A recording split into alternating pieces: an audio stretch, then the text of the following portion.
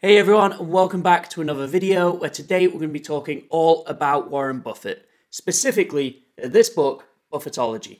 So, what this book talks about is Warren Buffett's investment style. I liked it so much, I dove into Python and I began working out all these different rules to give stocks a Warren Buffett score, and that's what we're going to go over. It's eight different rules. We'll cover each of them, and then we'll talk about the companies that score all eight points. If you're ready, I'm ready. Let's go.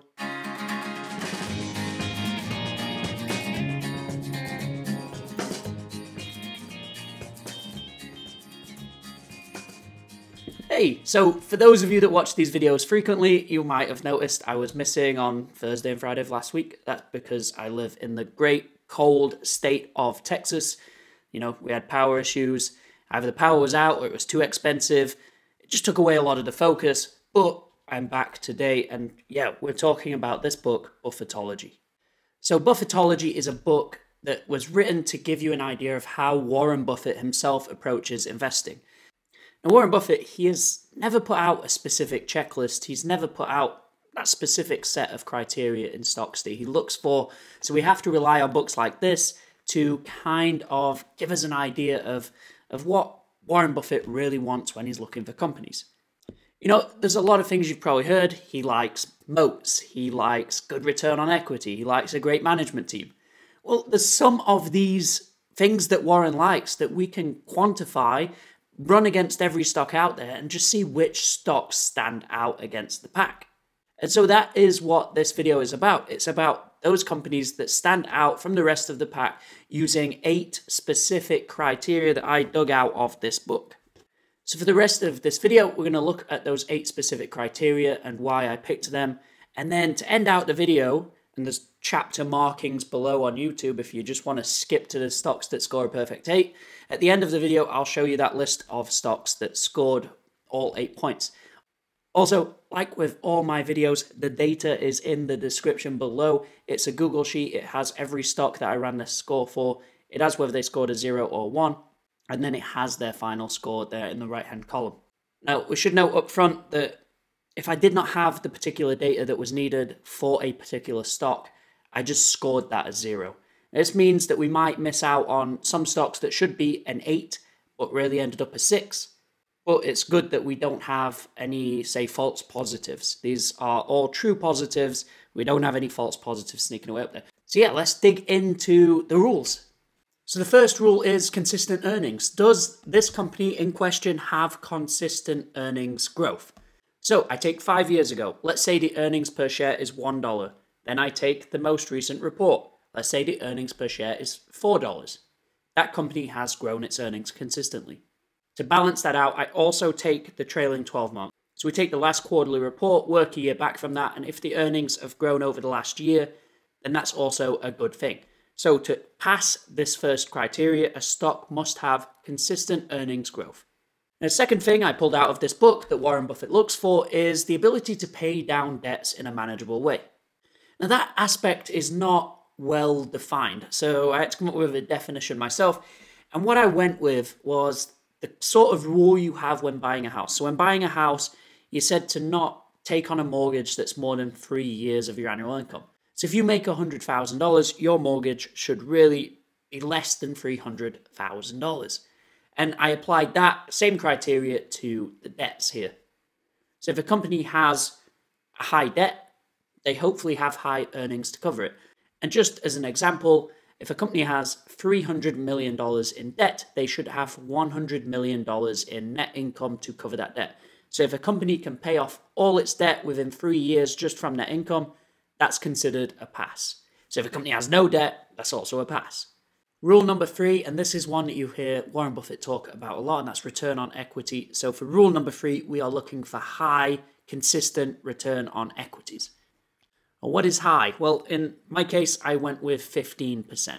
So if a company is consistently posting above 15% return on equity over the last five years, that is considered a pass. You get one point. If that company drops below 15%, it might be okay, we take the average. If that company is consistently below 15%, that's zero points. And following straight on from return on equity is high return on investors' capital or return on total capital. It's got a few different names. So we want return on investors' capital to be consistently above 12%. Why?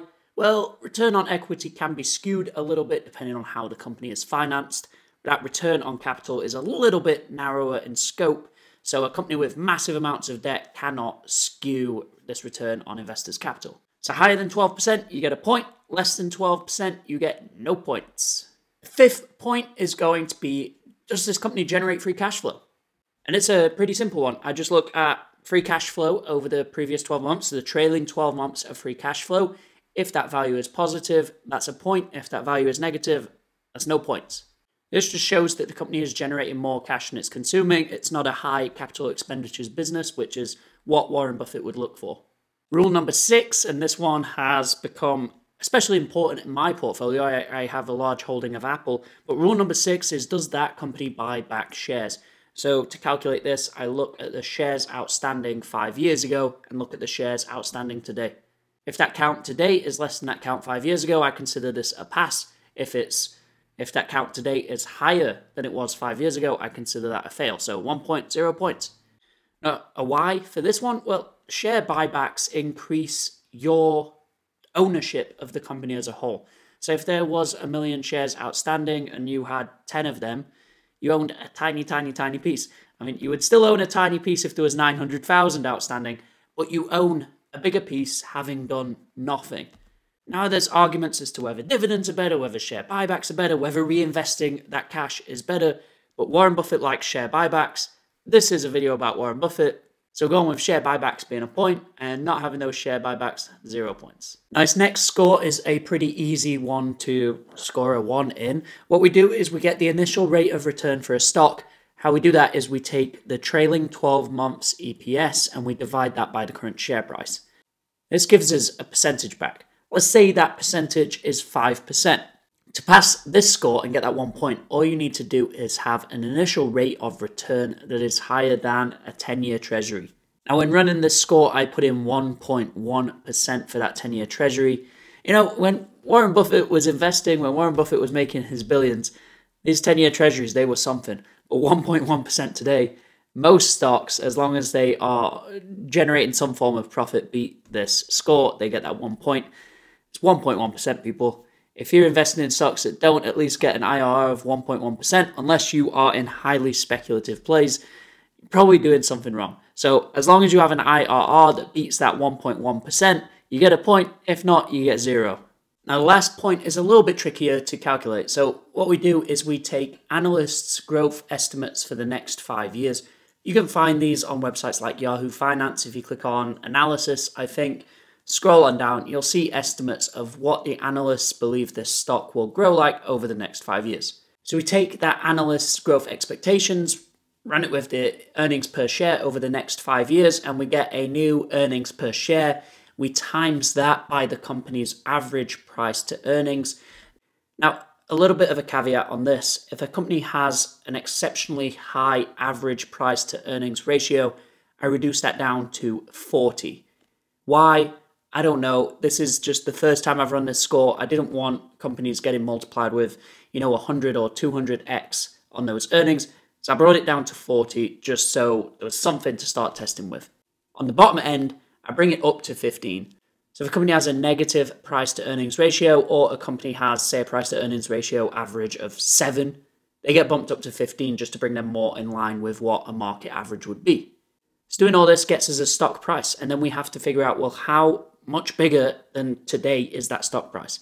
And what we do is we just calculate how much this stock grows each year, and let's say it is 15%. If it's 15%, that's a pass. If this stock is expected to grow 15% a year, it's a point. Because all we're looking for is something more than 12%. So if a stock is expected to grow at, say, 5% per year, that's not going to get a point here.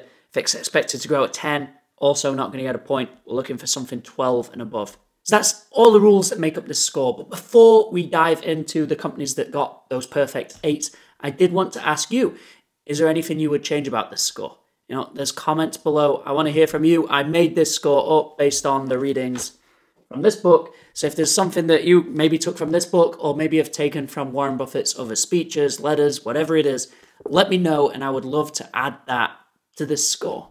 But yeah, let's dive into at least some of the companies that got those perfect eights. All right, so there are some big names up front that, well, some of them already are Buffett stocks, like Apple. Now, Berkshire Hathaway owns a decent amount of Apple stock today, and that stock scores an 8. There's also names like Adobe and Accenture, and then one that really caught my eye Best Buy. We wouldn't expect to see Best Buy on a list like this, but it has been putting up great return on invested capital numbers over the last five years, great return on equity, it's profitable, it's a $30 billion company. That one might be worth further research. Other names like Clorox, eBay, Fastenal, Facebook, they make the list as well. And like I said in the beginning, there are too many to show, at least in this sidebar, so the data is below. You can find all of these eight rated stocks. You know, they got the full eight points. You can find the sevens, the sixes, the fives, the fours, the threes, the twos, the ones, and the zeros. They are all below. But, and this is where we got to talk a little bit about the score and what it actually shows you. This score brings you companies that meet a very specific set of criteria. Now, these are criteria that I would say are pretty good. We're looking at companies that are profitable, companies that generate cash, companies that have high returns on equity, high returns on investor capital. We're looking at good companies here, but you have to make sure you're buying them at good prices. Now, you don't have to wait for them to become cigar butts. There, there is money to be made in some of these companies today. Like, it's going to be hard to topple a company like Adobe, for instance. Adobe scores an 8. It pretty much runs design. If you want to edit photos, Photoshop. If you want to edit videos, you got Premiere Pro. If you want to do anything in the design world, there's a good chance you're going to be getting a subscription to Adobe's creative platform.